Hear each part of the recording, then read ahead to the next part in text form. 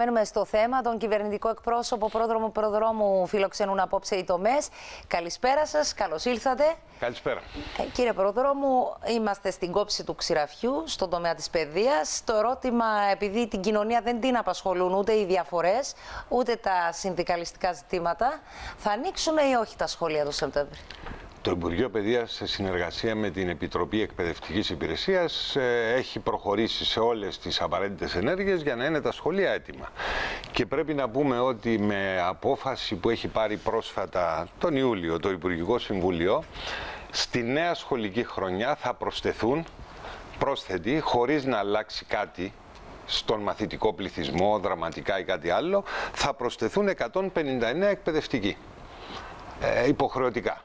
Πώς θα προσθεθούν οι εκπαιδευτικές οργανώσεις ε, εκφράζουν φόβους, ανησυχίες ότι δεκάδες εκπαιδευτικοί θα μείνουν χωρίς έδρα, εκτός έδρας Όχι, είναι... από αυτόν τον εξορθολογισμό, ιστόνομα αυτού του Όχι, δεν είναι, δεν είναι καθόλου ακριβές αυτό.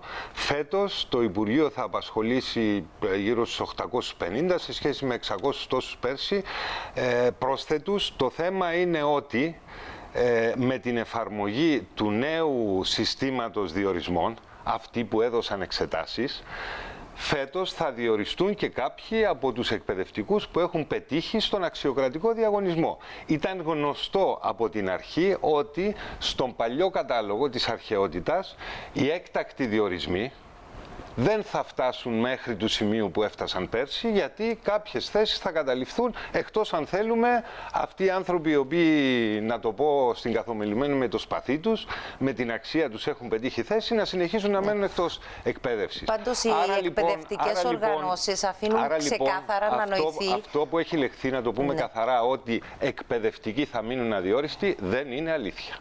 Δεν είναι αλήθεια. Όχι. Και αν παραμένετε, από, εξ όσων καταλαβαίνω, η κυβέρνηση αμετάθετη στις ε, αποφάσεις του Υπουργικού Συμβουλίου, παρότι το Υπουργείο Παιδείας λένε οι πληροφορίες ότι εξετάζει και εναλλακτικές επιλογές, αλλά εν πάση περιπτώσει, εάν αύριο υλοποιήσουν αυτά τα οποία διακηρύσουν οι εκπαιδευτικοί και δεν και κλείσουν τα σχολεία, δεν αρχίσει η νέα σχολική χρονιά, τι θα κάνετε; Κοιτάξτε. Διότι σχολεία χωρίς, χωρίς εκπαιδευτικούς δεν Να πάρουμε τα πράγματα με τη σειρά. Αυτή τη στιγμή η θέση της κυβέρνησης είναι ότι η πόρτα του διαλόγου είναι ανοιχτή. Ο πρόεδρος της Δημοκρατίας πήρε την πρωτοβουλία και στις 27 Ιουλίου έγινε μια σύσκεψη στο Προεδρικό Μέγαρο.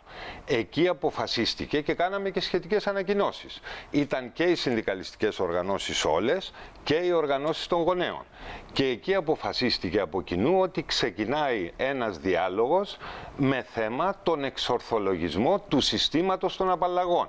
Και τι είναι το σύστημα των απαλλαγών; Το σύστημα των απαλλαγών είναι ότι ε, για πολλές και διάφορες εργασίες μέσα στο σχολείο απαλλάσσονται εκπαιδευτικοί από διδακτικό χρόνο.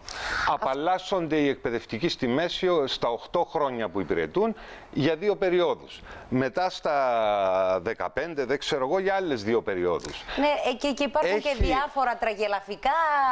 Εκπαιδευτικός που να κρατάει, λέει, επειδή κρατάει, λέει, τα πρακτικά του καθηγητικού συλλόγου, δεν ε, ε έχει δει από, από το διδακτικό χρόνο, χρόνο ναι. κλπ. Ναι. Και, και πολλά άλλα. Λοιπόν, Ο, ωστόσο, όμως, πρέπει, πρέπει επειδή να πούμε, μπαίνει κάτω, ναι. λέτε, λέει η κυβέρνηση είμαι έτοιμη για διάλογο.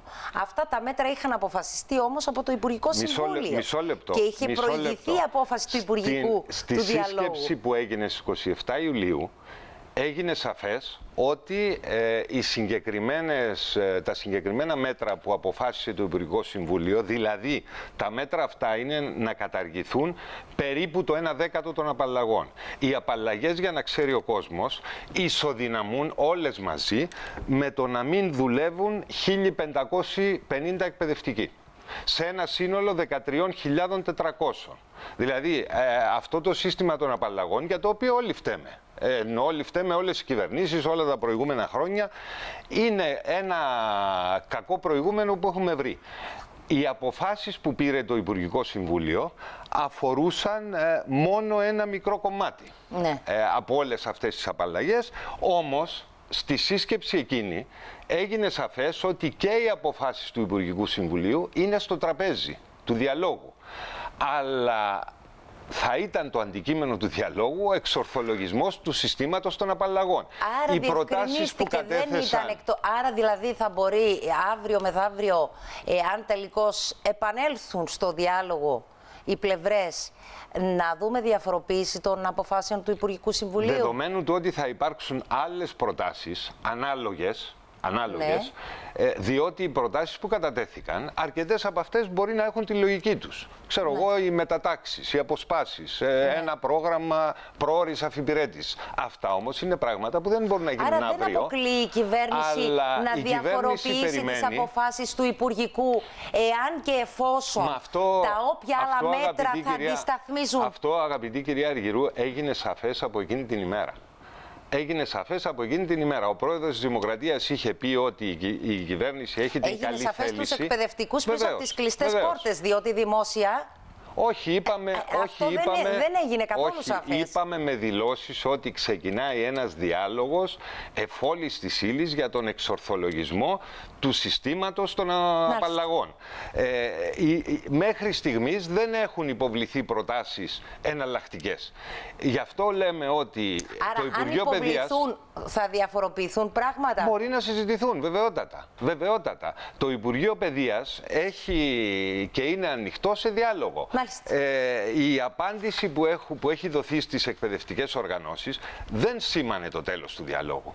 Ε, στο τέλος της απάντησης, έχω διαβάσει και εγώ την επιστολή, στο τέλος της απάντησης καλούνται οι εκπαιδευτικές οργανώσεις να συνεχιστεί ο διάλογος, να καταθέσουν προτάσεις, θα εξεταστούν οι προτάσεις, αλλά εδώ μου έχετε, με έχετε ρωτήσει τι ναι, θα γίνει με μέτρα κλπ. Ποια είναι τα μέτρα; Ε, δεν έχω αντιληφθεί. Ε, δεν μας έχουν εξαγγελθεί, αλλά εν πάση περιπτώσει δεν αποκλείουν και την επαόριστο απεργία. Κοιτάξτε, αν εννοείται τα μέτρα των εκπαιδευτικών. Εάν, εάν η λογική είναι ότι... πολιορκούν προεδρικό 28 του μήνα. Εάν η λογική είναι ότι ε, τη στιγμή που έχει αποφασιστεί ότι στη νέα σχολική χρονιά αυξάνεται το όριο που υπάρχει και μπορούν να απασχοληθούν ακόμα 159 πρόσθετοι εκπαιδευτικοί. Ναι. Πρόσθετοι.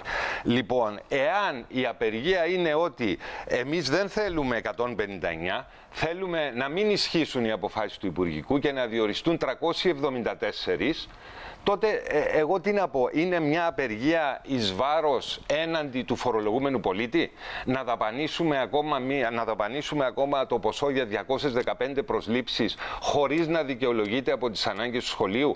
Είναι, είναι απεργία απέναντι σε ποιον; Στα, στον φορολογούμενο πολίτη. Για να μην πω ότι. Ε, η κοινωνία δεν, θα επιστρέψει από τις διακοπές Λίαν συντόμως και θα βρεθεί αντιμέτωπη με τις όποιες συνέπειες και έχει κρίση. Εγώ θέλω, να επαναλάβω, εγώ θέλω να επαναλάβω ότι οι εκπαιδευτικές οργανώσεις το ξέρουν. Στη σύσκεψη με τον πρόεδρο υπήρξε συναντήληψη και ναι. από την πλευρά τους και ναι. ε, περιμένουμε ότι θα αφήσουμε αυτά τα πείσματα και τη διελκυστίνδα που δεν οδηγεί πουθενά ναι. και ότι θα συνεχιστεί ο διάλογος. Η κυβέρνηση είναι ανοιχτή στον διάλογο.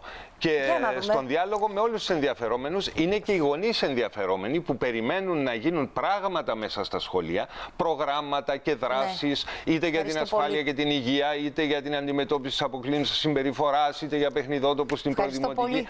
Για όλα αυτά χρειάζονται ε, χρειάζονται από τον προπολογισμό του Υπουργείου χρήματα τα οποία δεν μπορεί να πηγαίνουν όλα σε μισθοδοσία αδίκως. Μάλιστα. Σας ευχαριστώ πολύ και προφανώς έχουν λόγο οι, οι, οι οργανωμένοι γονείς και οι γονείς σε ό,τι αφορά την εκπαίδευση και την ποιότητα της παιδείας. Θλιβερή όμως